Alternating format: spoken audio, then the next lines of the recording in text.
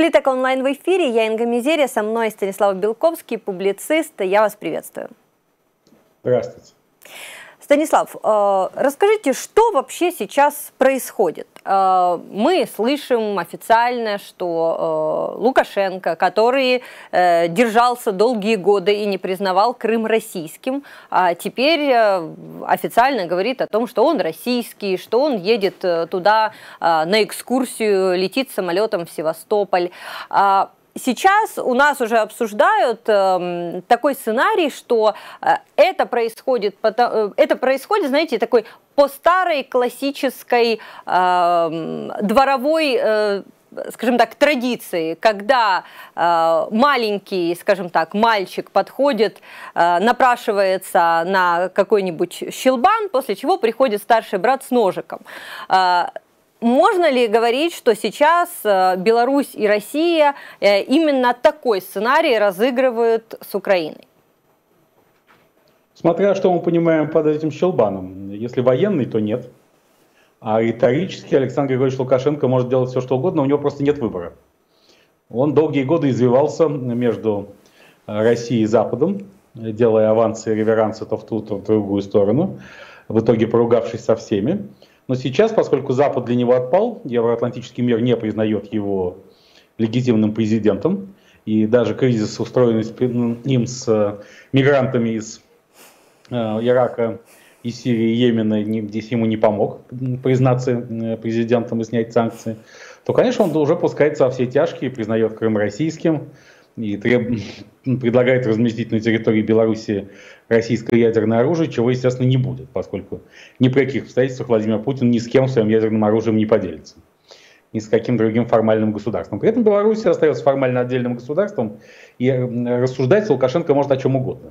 Вопрос в том, что это означает в практической плоскости. Если при этом он же обеспечивать поставки электроэнергии в Украину, что сейчас для Украины весьма важно, то слава богу. Этим он еще раз показывает, что он разными своими конечностями и полушариями мозга, которых у него значительно больше, чем два, может решать прям противоположные задачи.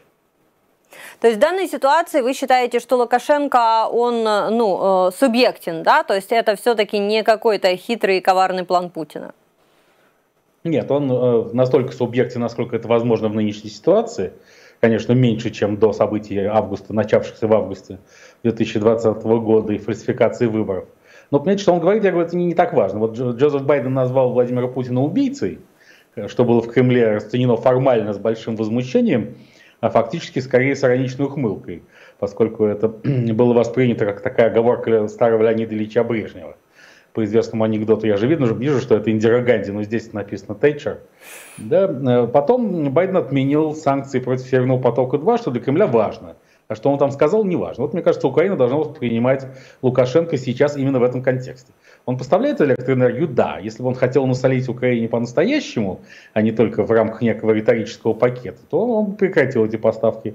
Но он их тьфу-тьфу-тьфу не прекращает пока что. Надя, вы только что пошутили по поводу Маргарет Тэтчер, а я сейчас э, вспомнила, недавно э, глава э, МИД Великобритании, ну, Соединенного Королевства Элизабет Трасс, она повторила через 35 лет поездку Маргарет Тэтчер в танке, да, и было это в Эстонии, в принципе, это такой как бы привет Российской Федерации о том, что за ними наблюдает. Насколько, на ваш взгляд, сейчас роль Великобритании вот э, в российско-украинско-европейских отношениях важна?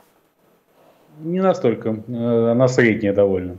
Конечно, Великобритания очень уважаемая страна, но после Брексита она все-таки уже окапывается в новой своей нише. Пока еще Евроатлантический альянс в полном объеме не создан, на который, который, собственно, обсуждался еще Дональдом Трампом и Борисом Джонсоном. А, и все-таки ключевые игроки сегодня для Украины – в этой системе отношений это США и Германия. А, Германия. Сейчас э, новая коалиция, еще не все понятно, как будут развиваться там события, но тем не менее мы видим, что Северный поток, при том, что имеют разные а, на него взгляды члены коалиции, ну, как бы не, не помешал им а, соединиться. На ваш взгляд, все-таки как будут разворачиваться события в отношении Северного потока и как будут в том числе действовать еще и Соединенные Штаты Америки, потому что они могут ведь наложить санкции теперь на немецкое судно, которое тоже участвует в запуске потока? Для Германии Северный поток важен, поскольку наблюдается явный дефицит энергоносителей, э, обусловленный не в последнюю очередь ошибками самой Германии в управлении ее энергетической сферой, в частности, излишне поспешным отказом от атомной энергетики, который правительство допустило после аварии на японской АЭС Фукусима. Поэтому сейчас без российского газа никак не обойтись, зима будет тяжелая. И значит, именно поэтому даже партия зеленых, которая всегда выступала против Северного потока-2, сейчас не одобряет возможное возобновление американских санкций в отношении этого проекта. Задержка сертификации, она действительно не политическая, а техническая, связана с тем, что сертифицировано должно быть э, немецкое, германское юридическое лицо, а сама компания «Северный поток» э, зарегистрирована в кантоне ЦУК в Швейцарии с целью минимизации налогообложения. А поэтому Северным потоком ничего не случится. Что касается позиции независимо от тех или иных деталей формирования правящей коалиции. Кстати, один из важнейших пунктов совместных действий, одна из политических мер, одобренных э, новой коалицией «Светофор», где канцлером будет социал-демократ Олаф Шольц, а министром иностранных дел представитель партии «Зеленых» Аналена Бербок, это легализация марихуаны.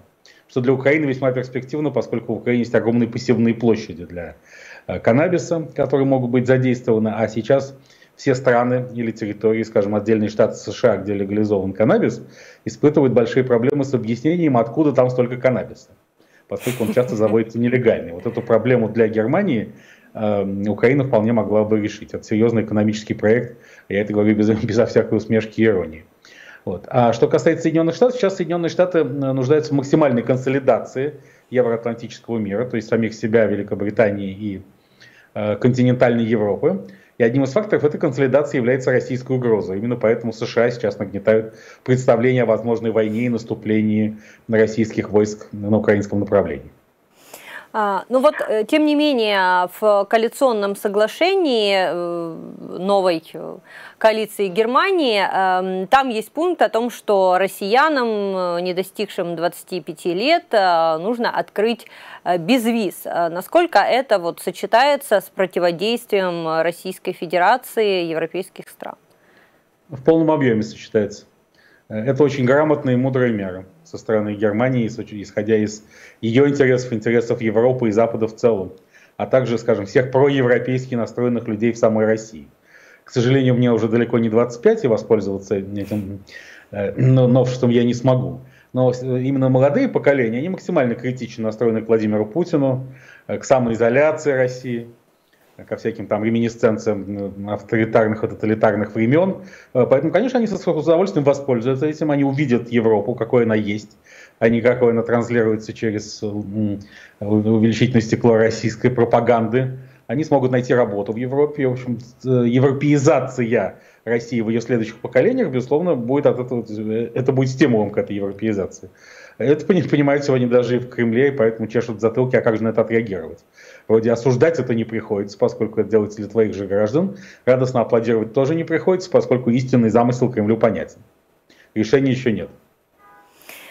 А, давайте поговорим о военной угрозе. Вот э, мы помним заявление недавнее Путина о том, что если определенные базы НАТО будут в Украине, то Россия обладает оружием, которое за пять минут может нанести серьезные, сверхзвуковое оружие может нанести серьезные удары по Украине, что они будут разрабатывать и дальше.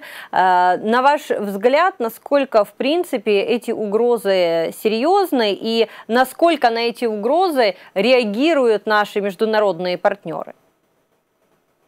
На мой взгляд, и США, и Россия сейчас заинтересованы в том, чтобы заключить некий мирный пакт, условия которого так или иначе формулируются и формируются обеими сторонами, и о них эти э, стороны проговариваются. В частности, Владимир Путин только что заявил, что хочет подписать с НАТО, ну, с ведущими странами НАТО, естественно, во главе с США юридически обязывающее соглашение о том, что НАТО не будет продвигаться дальше к российским границам, ну то есть что Украина, Грузия и Молдова не станут членами Североатлантического альянса в обозримой исторической перспективе. В таком случае войны не будет. То есть я, что горячей войны никто не хочет. Но, по известному анекдоту, войны не будет, но борьба за мир будет такая, что камни на камне не останется. Как и в ситуации Карибского кризиса 1962 года, надо сначала создать кризис, чтобы потом его регулировать. И вот сейчас пока идет процесс создания кризиса. Владимир Путин использовал в своей риторике фразу «пока не признанные ДНР и ЛНР». Этот ключевой «пока» должно было многих напугать. И он, Москва транслирует месседж о том, что вот эта Украина, наоборот, концентрирует войска на линии разграничения в отдельных районах Донецкой и Луганской областей. А потому есть опасения попытки Украины повторить карабахский сценарий 2020 года, то есть ввести войска в Ордло, и тогда Россия будет отвечать. И для этого она концентрирует войска, маневрирующие на неукраинских границ. Все это война нервов, но в конечном счете, я говорю, в нагнетании заинтересованы и США, и Россия. Потому что именно мирный выход из этого нагнетания даст им много очков. И некие компромиссные результаты, на которые рассчитывают обе стороны. Также немало политических очков заработают Владимир Путин и особенно американский президент Джозеф Байден, которому очки эти очень-очень сейчас нужны после серии его неудач на протяжении первого президентского года. Ну и мне кажется, президент Украины Владимир Александрович Зеленский тоже не отстает, поскольку он хочет выиграть э, как человек, предотвративший войну. Э, вопрос о том, э, если будет, э, будет подписан какой-то документ между Россией и НАТО, это вот типа Будапештского меморандума, который в дальнейшем можно будет не выполнять, или все-таки Россия уже на украинском опыте будет требовать чего-то более серьезного? Это непонятно как, потому что то, о чем говорит Владимир Путин, пока формально невозможно потому что Россия не является членом НАТО и поэтому не может э, э, быть участником договора, в котором э, обсуждаются условия участия в этом альянсе тех или иных стран. Безусловно. Это могут обсуждать только члены НАТО. Поэтому я не исключаю, что в какой-то момент обе стороны ударят себя по, по коллективному лбу и скажут, ой, а можно же создать новый какой-нибудь альянс в сфере безопасности между НАТО и Россией. И этот альянс, в частности, будет заниматься сдерживанием Китая. Я не утверждаю, что такого рода перспектива реально в ближайшем будущем, но она напрашивается. Все, что напрашивается в мировой истории, то есть все может произойти, как, собственно, по Чехову ружье, которое висит на сцене, может выстрелить, должно выстрелить.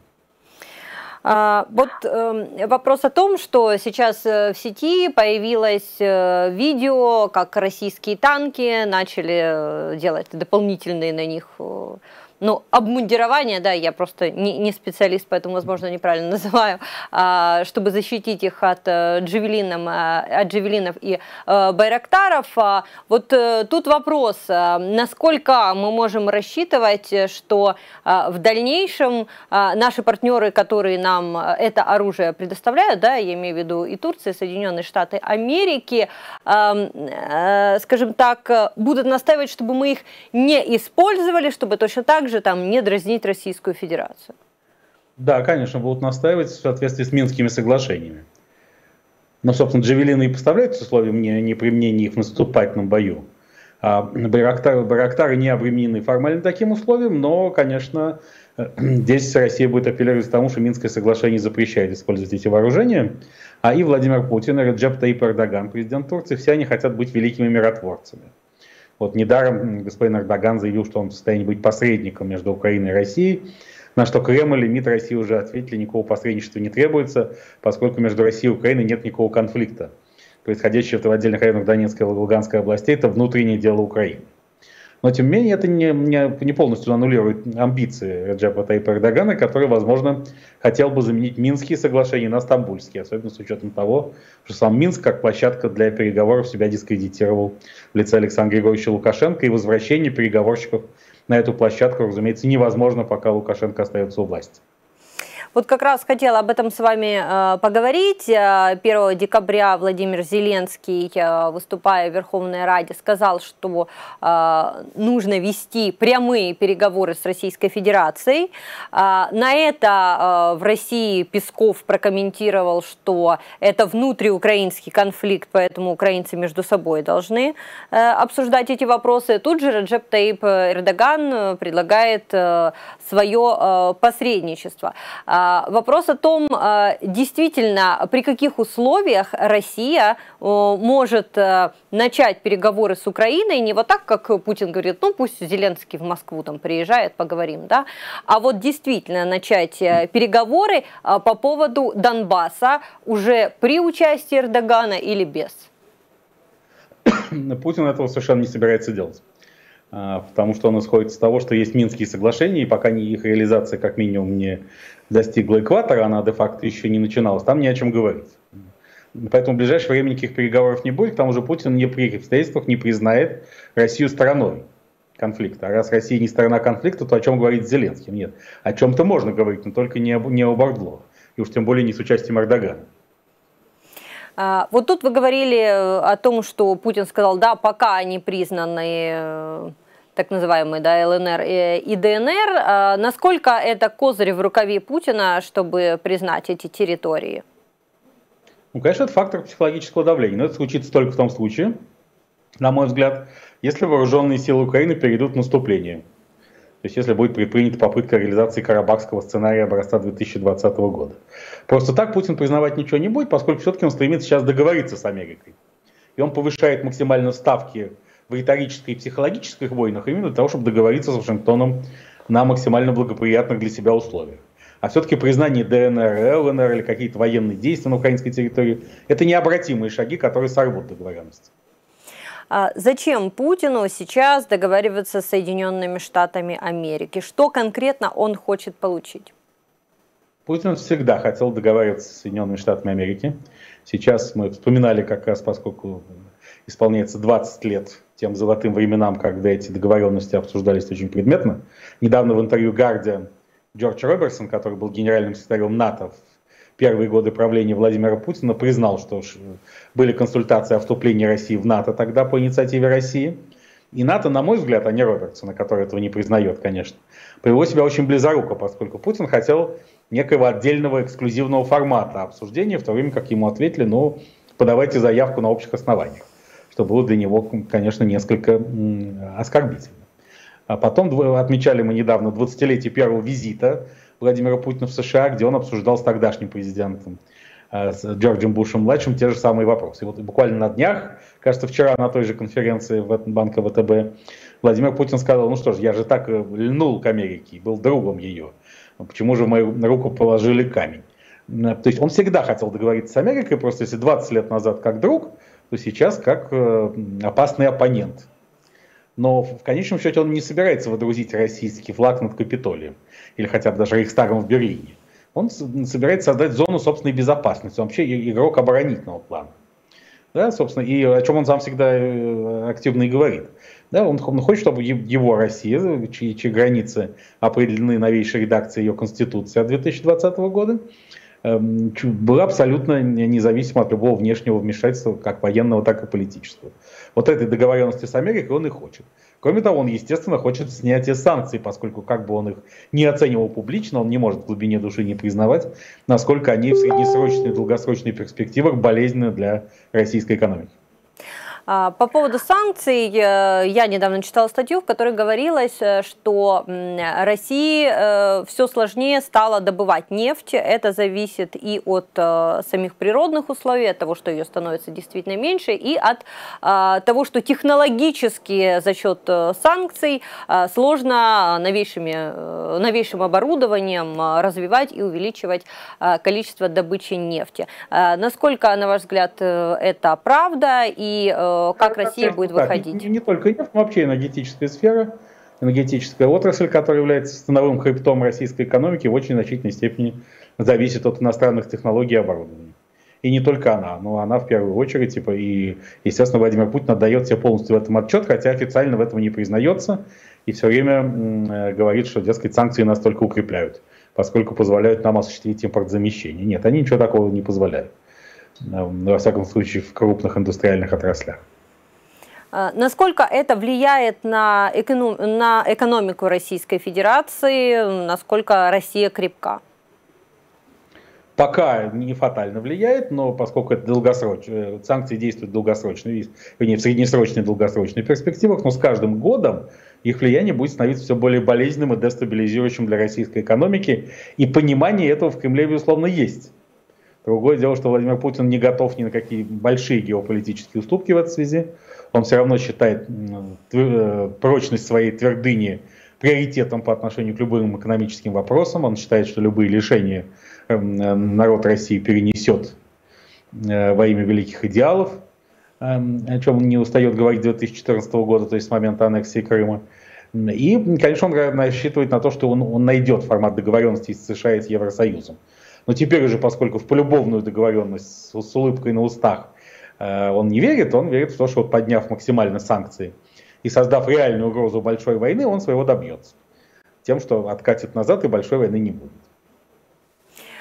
А, Россия пытается создавать новые пути подачи газа в Европу, да, Северный э, поток-2, до этого были там турецкие потоки. Э, сейчас, э, опять же, в обход Украины, там, Венгрию поставлять газ. А на самом деле Россия в состоянии а, вот все то, что она обещает и хочет поставлять, действительно поставить. Этот вообще газ есть? Да, в основном он для, по европейским меркам и для нужд Европы он есть. А его нет в полном объеме для Китая, но как раз это тоже является предметом переговоров, можно перекинуть его Э, с китайского направления на европейское. И здесь сейчас как раз Путин чувствует себя э, вполне комфортно, потому что действительно цены на газ выросли, э, дефицит энергии в Европе значительный, энергетический кризис на лицо. Это связано и с погодными условиями перемены климата, и с определенными политико-управленческими ошибками, которые были допущены европейскими странами в минувшие годы. Поэтому нет, здесь как раз все нормально. Я не утверждаю, что это будет надолго, но на ближайшие пару-тройку лет это точно так. А, скажите, пожалуйста, как вы считаете, вообще э, Соединенные Штаты Америки, вот мы говорили, да, что, что Путин э, хочет, а что хочет Байден? Вот э, те очки, которые, я имею в виду, эм, заработать еще очки среди своего электората, какими действиями он может в отношении России, а может быть в отношении Украины? Он должен предотвратить мировую войну. То есть урегулировать Карибский кризис, чем он сейчас и занимается сначала пока на стадии создания кризиса. Поскольку, как я уже сказал, нельзя урегулировать кризис, не создав его. Но для Байдена важно, чтобы Россия не вмешивалась в евроатлантические дела, чтобы прекратилась гибридная война, включая хакерские атаки там, на те или иные американские институции, попытки повлиять на какие-то зоны и территории американского влияния, к чему Путин тоже готов, но при условии встречного ответа симметричного Соединенных Штатов. Поэтому Путин и Байден понимают друг друга гораздо лучше и готовы дружить гораздо крепче, чем это иногда кажется извне на первый взгляд. В этом смысле любая агрессивная риторика с обеих сторон, она скорее призвана прикрыть э, э, внутреннее дружелюбие. Да? Называешь Путина убийцей, потом отменяешь санкции э, по Северному потоку. Также готов действовать и Владимир Владимирович. В данной ситуации тогда э, какова роль Украины? Насколько сейчас наши союзники и наши противники действительно с нами играют и какие тогда предпринимать действия должны мы здесь? Безусловно, независимость и территориальная целостность Украины важны для США и Евросоюза, но не ценой большой войны и похода на Москву. Поэтому здесь не надо ничего ни недооценивать, ни переоценивать. Не будет ни, ни прямой сдачи Украины, ни прямого участия каких-либо евроатлантических вооруженных сил на стороне Украины. Поэтому Украина должна понимать, что происходит, тоже стремиться к миру и, так сказать, не поддаваться на провокации и всякие призывы так сказать, быстренько за три дня решить проблему Ордло военным путем, поскольку последствия этого непредсказуемо. Понимаете, даже вот чем дольше, чем больше мы анализируем пресловутую операцию с вагнеровцами, тем больше, как это не смешно и не странно, приходим к выводу, что скорее прав здесь Владимир Александрович Зеленский. Э, как, хотя свою правду он облег в такую неудоборимую форму, обертку, что с ней довольно сложно согласиться и поверить в нее. Но действительно, а была ли нужна эта операция Украине? А ведь она принесла бы гораздо больше проблем, чем э, позитивных результатов. Она принесла бы безусловное обострение на фронте э, и другие всяческие действия, деструктивные действия России. Она привела бы к конфликту с Турцией и так далее. Да, нужно ли это было для того, чтобы заполучить этих, этих людей в э, киевских тюрьмах, ну, чтобы обменять их на кого-то, да, возможно. Но совсем не в том контексте, в котором говорят сейчас люди, обвиняющие Зеленского чуть ли не в национальной измене. Так и здесь. Поэтому, конечно, кто угодно может стрелять из гаубицы по территории Ордло, чтобы показать, какой он крутой. Я, вы понимаете, о ком я говорю. Но если говорить о предметных последствиях, то вряд ли они благоприятны для Украины. Для самолюбия того человека, который это делает, наверное, да, благоприятно но не для страны. А, вот. И, конечно, Украина должна заниматься всемирными реформами и внутренним, внутренним развитием, для чего у демократической страны с свободной экономикой есть все возможности, и использовать эти возможности далеко не в полной мере. А, я хотела бы задать вам несколько вопросов по России, которые не, не связаны да, напрямую э, с Украиной. А, просто мы всегда пытаемся все-таки следить э, за тем, что происходит э, у вас. А, и вот, например, Алексей Навальный да, ну, в прошлом году, и насколько мы активно за этим следили, сейчас, в всяком случае, в украинском медийном пространстве про него ничего нету. Скажите, что на самом деле происходит в Российской Федерации в отношении оппозиции? Оппозиции и Навального непосредственно? Реальная оппозиция, олицетворяемая Алексеем Навальным, несистемная оппозиция разгромлена, э, как политически, так и организационно. Штабы Навального ликвидированы, они признаны экстремистскими организациями по закону, с ними нельзя сотрудничать под страхом уголовного наказания. Сам, естественно, Алексей Анатольевич Навальный отрезан от прежних каналов коммуникации, находясь в тюрьме, и поэтому выступает редко. Но даже в этой ситуации он выступает достаточно метко. Его программные статьи в этом году были весьма убедительными, привлекли себе немало внимания, особенно моего. Потому что мне он всегда нравился именно в роли идеолога, а не человека, который призывает всех посадить в тюрьму и всем отомстить. И сейчас сам Навальный говорит о том, что он проходит христианский практику. Он э, скорее предстает будущим реформатором российского христианства, чем человеком, который должен свергнуть Путина. И вот лично мне эта трансформация очень нравится. А многим из тех, кто его поддерживал до недавнего времени, не нравится, потому что им гораздо больше э, импонировала его такая мстительно-разрушительная риторика. А, так что я, я бы не списывал ни в коей мере этого человека со счетов, он еще своего и последнего, и предпоследнего слова далеко не сказал. А, но в целом, конечно, политическая система заморожена, есть только системная оппозиция, э, которая представлена в парламенте в лице коммунистов «Справедливой России», ЛДПР, она подконтрольна Кремлю. Те, те люди в этой оппозиции, кто Кремлю не подконтролен, тоже сейчас подвергается гонениям, как, например, стрелявший в лося коммунист Валерий Рашкин. Ну, не то, что он совсем не подконтролен Кремлю, но он позволил себе избыточные вольности и данное сотрудничество со штабами Навального во время недавней кампании по выборам. Это ему не простилось, хотя Лося он действительно убил, и это очень плохо, он подставился. Но истинная причина гонений не в Лосе. И будь он полностью лоялен Кремлю, э, все бы об этом, эту историю, естественно, списали. И забыли, как это в России принято на сегодняшний день. Мало ли в России убили представители партии «Единая Россия», да черт. Вот. И э, Владимир Владимирович Путин, опять же, оговорился по Фрейду на вчерашнем мероприятии в банке ВТБ, сказав, что вот какой фокус, у меня есть возможность по Конституции идти еще на один срок. На самом деле, по, по новейшей редакции Конституции у него есть возможность идти на два срока. Но, возможно, он выдал, что он хочет делать на сегодняшний день.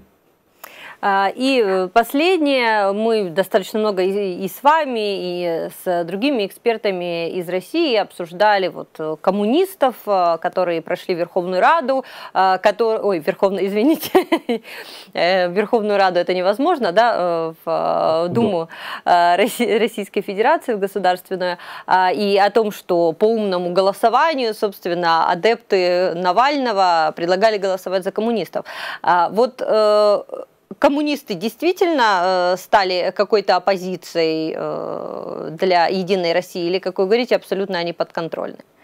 Нет, они абсолютно подконтрольны на уровне своего как федерального руководства, так и большей части регионального руководства, но есть среди них люди, которые сотрудничали с Навальным и штабами, последнего ныне запрещенными в России, на всякий случай говорю, потому что от этого, меня требует, этого от меня требует российское законодательство каждый раз отпоминать. Ну вот. И именно за нелояльность они сейчас подвергаются гонениям. Это и Валерий Рашкин, и э, саратовский известный коммунист Николай Бондаренко, и еще несколько человек. Но это кардинально на цел, в целом на картину не влияет. КПРФ абсолютно прокремлевская партия. И если в ней будет происходить смена власти, то от нынешнего лидера Геннадия Зюганова, которому уже 77 лет, видимо, в направлении его молодого 40-летнего преемника Юрия Афонина, ничуть не менее лояльного Владимиру Путину, чем действующий его босс. А вот э, по поводу тех, кого нельзя э, называть, тех, кто запрещен, а ведь до недавнего времени так говорили про Талибан, да, ведь такие пометки были а, в, российской прессе, а э, сейчас как раз там заявили, что в принципе, ну да, Крым российский, а, ну так, абстрактно, но можно сделать такой вывод, да, как сейчас называют эту организацию в России? Существует решение Верховного суда России о запрете Талибана, давнее довольно. Оно не отменено, поэтому ничего формально измениться не могло. Понимаете, в России же все законы формально исполняются четко по принципу э, Владимира Ильича Ленина, по форме правильно, а по существу издевательства. То есть даже когда идет издевательство над законом, буква его соблюдается. Вот такого, как вводить санкции решениями Совета Безопасности, как в Украине, так, такого в России при Путине быть не может. То есть там могут быть сколь угодно подконтрольные суды, но все решения такого типа принимаются только судами, а не какими-то органами за пределами судебной власти.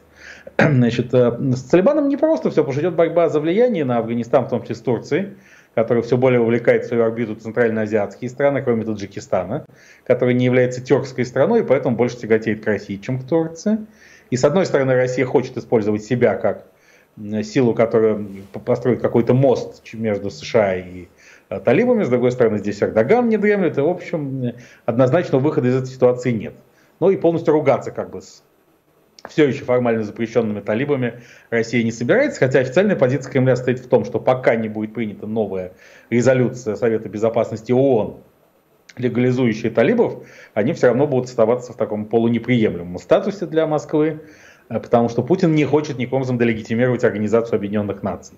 Сейчас он считает ее очень важной и полезной для себя, а американцы кусают себе локти, что они этот бесполезный и бессмысленный ООН э, не распустили в начале 90-х годов, когда была такая возможность. Станислав, большое вам спасибо. С нами был Станислав Белковский, публицист. Оставайтесь на нашем канале. Спасибо. Подписывайтесь. До свидания. Инга Мизери с вами прощаюсь.